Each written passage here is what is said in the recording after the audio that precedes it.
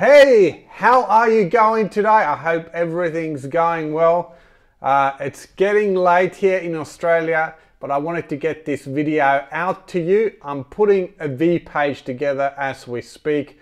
So here I am, I'm going to record it and make a lesson for you at the same time. And what I want to do in this video lesson is cover the Facebook features inside of vPages. Now we won't actually cover all the advanced stuff, but we'll get the vPage Facebook friendly. So when you want to post your Facebook uh, vPage link on Facebook, it'll look perfect every time. So let's jump in and take a look at Facebook friendly vPages.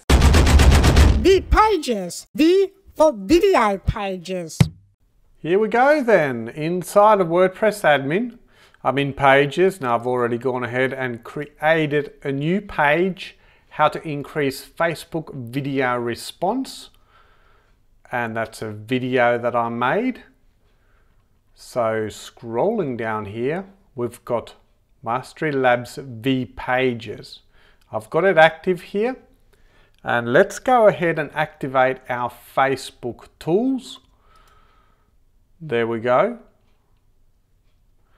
And we'll come back to the comments in a moment, but I just want to show you what happens when we first click Facebook tools.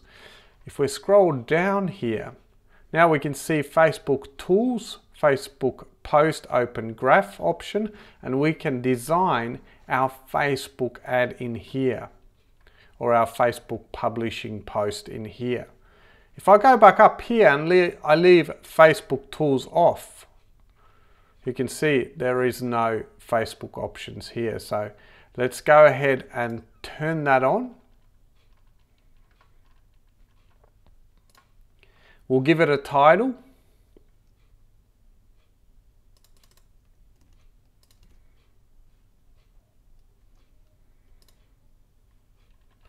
I'm going to use the same title as I used in the video. I just don't feel like typing a new one.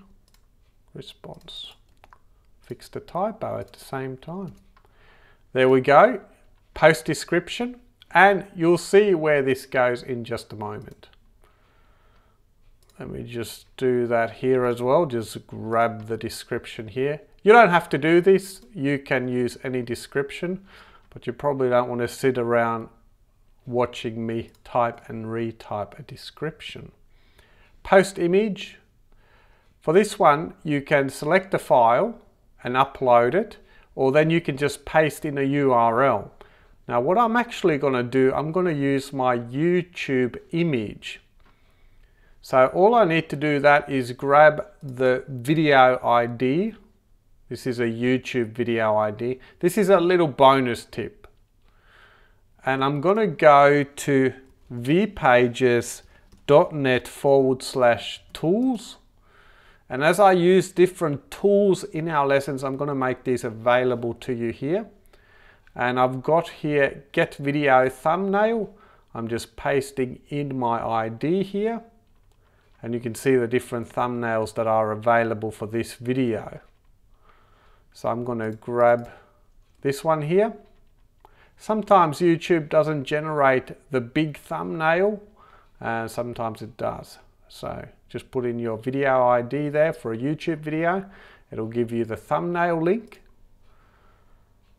Back in our settings here, I'm going to paste it in there.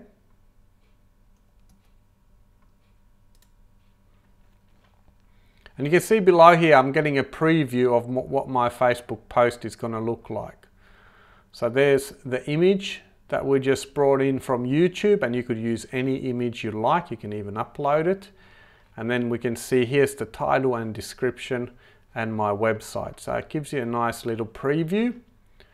Post type, you can leave it on website. If you want to get advanced, you've got other options there and then we've got comments placement. We'll come back to this.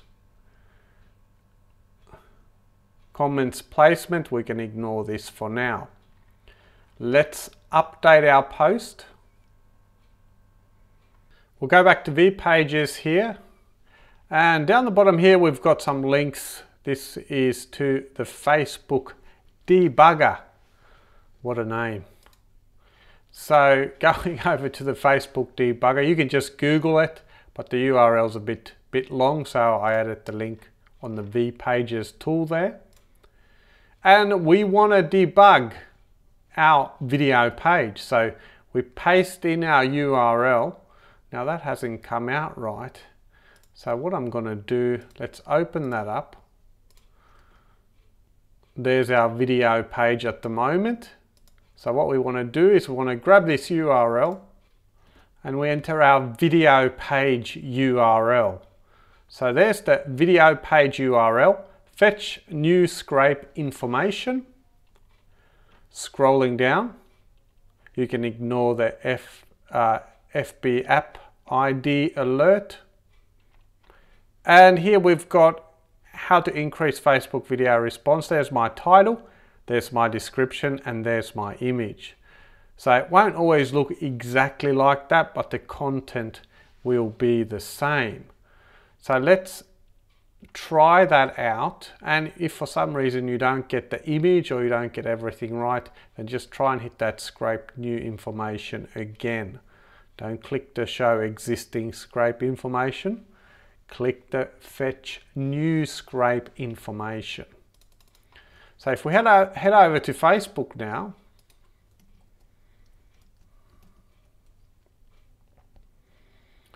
and I'm in my timeline here and I paste this link in, you can see I'm getting a really nice post. And what's cool about this post is if I click it now, post, the entire post is clickable. And when people click that, it's going to come back to my video page, which is really, really, really cool.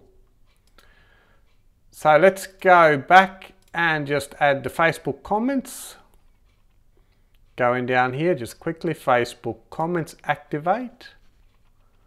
And the comments will always automatically go with your designer options. And we can choose the placement of the comments. We're not using the action button at the moment, but if you do want to put the comments below the action button, you've got that option here. Update. Let's have a look at our video page.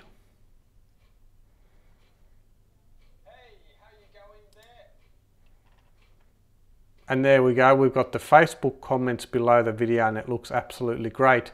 When people leave a comment, they have the option to check and leave their comment on their Facebook page. When that happens, this gets posted on their timeline and in on their Facebook wall. There we go, Facebook friendly vPages. Make sure you come back to the next lesson. We're gonna get into the action button and I'm gonna show you some cool advanced strategies with timed action buttons. So that's it for this lesson. Matthew McDonald here. You're over there and go ahead and set up a Facebook friendly video page.